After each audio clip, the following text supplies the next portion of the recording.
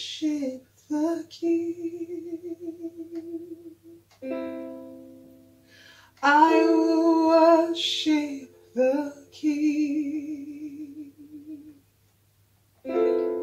He who sits on the throne. I will worship